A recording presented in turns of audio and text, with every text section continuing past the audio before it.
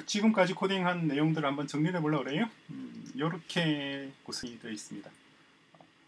갭 코리아 국가금융 인프라로 되어 있죠. product 부분에 관련 product 지금 현재 new product가 들어야 되겠죠. 어, 표준 화폐가 표준 은행의 상품이고 예금 등등이 상품이 들어야 될 거예요.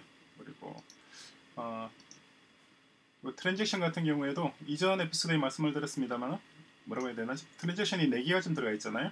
같은 transaction을 4번을 지금 돌려서 이렇게 구성이 되어 있습니다. 마찬가지 홍길동도 transaction이 아마도 어디 있나요? 여기 있군요. 4개가 들어있겠죠? 이렇게 같은 게 4개. 이건 어떤 의미냐니까 우리 지난 에피소드에서 한번 살펴봤습니다만 이런 내용입니다.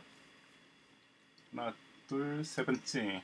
거래 당사자 각각은 자신의 거래 이력을 연대순으로 기록하는 거예요. 그래서 그 거래 내역이 이렇게 자동적으로 기록되어서 어, 나중에 이렇게 다 조회할 수 있도록 어, 구성을 했습니다. 그래서 누가 언제 어디서 무엇을 샀는지 예를 들어서 가령 가령 어, 지금 지금 강의를 녹화하고 있는 시점이 2020년 7월 1일인데 지금 어, 문제가 되고 있는 것이 유치원에서 식중독이 발생을 했어요. 어, 햄버거 병이라고 그랬죠. 유치원 햄버거 병 끔찍한 일이 발생을 했는데 문제는 지금 어느 식재로 해서 식재로 해서 문제가 있는지 문제가 발생했는지를 알 수가 없다는 거죠. 했는지 오리무중.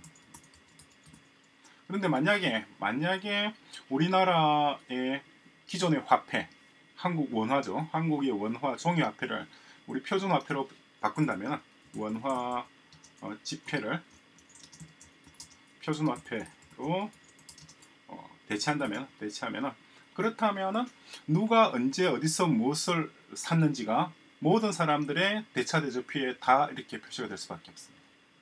그죠? 어떤 상품이고 상품에 대한 내용도 어 아주 상세하게 기록이 되어 있어요. 차차 우리 살펴보겠습니다만 예를 들어서 product 같은 경우입니다. product 볼까요? product schema로 보시면 이렇게 됐습니다. 타입 있고 name price 그다음에 등등등등 상품입니다. 상품이 되고 그런 다음에 이런 내용도 있어요. 뭐냐니까 arrived when stored at managed by expiration date produced by 이런 정보들도 상품에 다 첨부되고 그것뿐만 아니라 product log라고 하는 것을 embed many를 하고 있어요. product log는 뭐냐니까 product log product log embed입니다. 누가 언제 어디서 무엇을 어떻게 누구에게 라는 정보입니다. 그래서 가령 뭐 단무지를 구매를 했다 라고 한다면 그 단무지를 처음에 만든 사람이 어느 공장이고 단무지 그다음에 누가 단무지를 누가 만들고 어디에 보관했고 쓰며 누구에게 판매했고 그리고 유효 기간은 언제이고 등등등 단무지 하나에 대한 모든 정보가 product에 기록이 되도록 그렇게 구성을 했어요.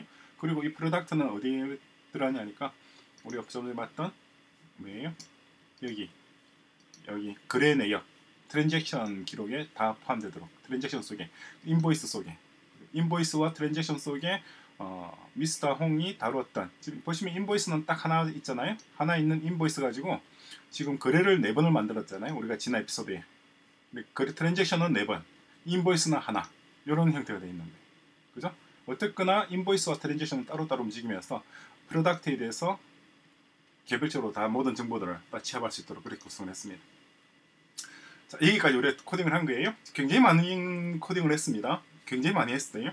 어, 그리고 지금 이 디자인도 스마트폰 크기에 딱 맞춘 거예요. 맞춰서 깔끔하게 그냥 딱 필요한 정보만 딱딱딱딱 표시가 될 수 있도록 이렇게 구성을 했습니다. 그리고 어, 뭐 사소한 것 같습니다만은 굉장히 많은 코딩을 했는데 이 코딩이 요것들을 만약에 진짜 우리나라에서 음, 어, 기존의 원화 대신에 우리가 만든 표준화표로 대체하게 되면 정말 국가의 대한민국이죠. 대한민국의 어, 운영 방식, 사회가 동작하는 메커니즘이 기본적으로 달라질 거예요.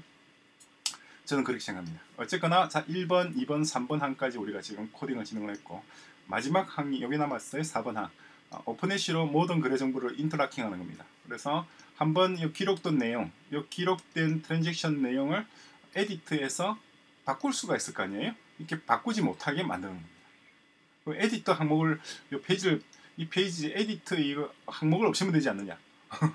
그러면은 뭐 보통 사람은 못 바꾸겠지만은 전문가들은 바꿀 수가 있죠. 해킹 할 수 있는 사람들은 그죠? 해킹할 수도 여기 있는 이 데이터 여기 있는 글에 한 번 발생한 글의 정보를 바꿀 수 없도록 하는 것이 지금 네 번째 남아 있는 요겁니다. 그러니까 모든 글의 정보를 오픈해시로 인터랙팅하는 겁니다. 유치원에 예를 들어서 좀 전에 말씀드린 것처럼 유치원의 단무지를 어, 예를 들어 단무지를 어, 단무지 조금만 더 할게요. 뭐 단무지 구매 날짜가 있을 거 아니에요. 단무지 구매 날짜 있고 유효기간 있고 그리고 배식한 날짜가 있을 것이고 그리고 보관 방법 등에 대한 보관 방법과 기간 그리고 관리 담당자 등에 대한 정보가 이 단무지에 다 할당이 됩니다. 정말 다 할당되도록 구성이 되어 있어요. 그렇게 구성을 했습니다. product 보시면은 product embedded 보시면 managed by라는 항목이 있죠. 누가 관리를 하느냐 이 상품을 그렇죠? 이게 단무지일 수도 있고 항공기일 수도 있고 냉장고일 수도 있고 자동차일 수도 있고 공장일 수도 있어요. 어떤 것이든 상관없습니다. 부동산일 수도 있고 주식일 수도 있어요. 모든 상품에 대해서 이러한 정보들이 다 기록되고 그리고 이 상품의 log file, log file, 냉장고에 있는 것을 꺼냈다. 혹은 뭐뭐 뭐 운송업체로부터 전달받았다 등등이 product log로 다 기록되도록 했습니다. 그래서 단무지든 냉장고든 자동차든 집이든 다 이런 방식으로 기록되도록 구성을 한 거예요. 자, 이렇게 구성된 내용을 이제 마지막 남아 있는 것은 OpenHash를 이용해서 interlocking 하는 겁니다. interlocking해서 데이터가 바뀔 수 없도록 하는 것이고 그리고 표준 화폐 이동 블록체인을 묶는 것은 우리가 지난 에피소드까지 봤었죠. 상당히 재밌었죠. 이게 블록체인의 기본적인 메커니즘 동작을 우리 전자 어, 여권의 결제 모듈에도 기본적으로 적용을 할 수 있도록 구성했습니다. 이 부분 4번 항목 다음 에피소드에서 진행을 하고 그런 다음에 어, 실제 이 시스템 우리가 지금까지 코딩한 시스템을 구글 클라우드에 업로드할 겁니다. 구글 클라우드에 업로드해서 누구나 접속해서 이 시스템을 테스트할 수 있도록 그렇게 준비할 거예요. 구글 클라우드의 호팅. 호팅. 자, 근데 한 가지 남은 게 있어요. 뭐가 남았느냐니까 미진한 부분이 있습니다. 미진한 부분을 보시면은 지금 어디 있나요? 어, 밸런스 시트 홍엔티티 음, 에서 balance sheet 볼까요? balance sheet 보시면은 이렇게 get balance에서 cash가 지금 변함이 없어요. 그러니까 표준 화폐는 오고 가고 있는데 표준 은행과 거래를 하면서 표준 화폐는 주고받았는데 cash는 전혀 지금 증감이 없습니다. 이건 말이 안 되죠.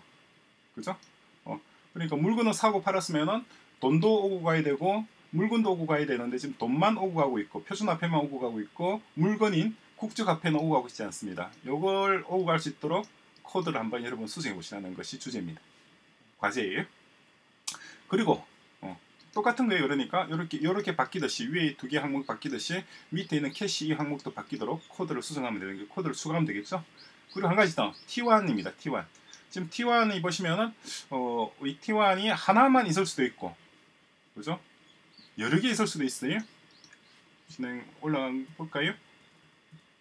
보시면은 밸런스 시트에 지금 T1이 하나, 둘, 셋, 넷, 다섯 개, 여섯 개 있을 수도 있고 아니면은 T1이 하나만 있을 수도 있고 아니면 T1이 아예 없을 수도 있습니다. 그렇죠? T1이 몇 개가 있든 간에 그 있는 T1들이 여기에 표시될 수 있도록 하나면 하나가 표시되고 두 개만 두, 두 개가 표시될 수 있도록 HTML 템플릿을 수정을 해야 되겠죠. 그것도 여러분들에게 제가 던지는 퀴즈입니다. 한번 해보시기 바랍니다. HTML 그러니까 show이고 이게 balance sheet죠. balance sheet show 여기 있는 이 파일입니다. 이 파일 t1 있잖아요. 이 t1을 수정해서 이 부분을 수정해서 이 부분을 수정해서 t1의 개수만큼 여기에 표시가 될 수 있도록 이 HTML 코드를 수정하는 겁니다. 그죠? 두 개예요. 어, 과제. 첫 번째는 balance sheet에 balance sheet에 어디 있나요? 어, 그 T1 거래에 상응하는 상품 그 상품이 국제화폐일 수도 있고 그냥 김밥일 수도 있고 뭐든 간에 그 상품이 오고 가는 것을 어, balance sheet의 항목에 표시될 수 있도록 지금 같은 경우는 cash죠. cash가 상품이잖아요. 이 cash를 서로 조정될 수 있도록 코드를 수정하는 것이 하나이고 두 번째는 user interface를 바꿔서 T1에 각각의 T1 각자 가지고 있는 T1이 표시될 수 있도록 표시하는 것. 그 두 가지입니다. 한번 해보시기 바랍니다.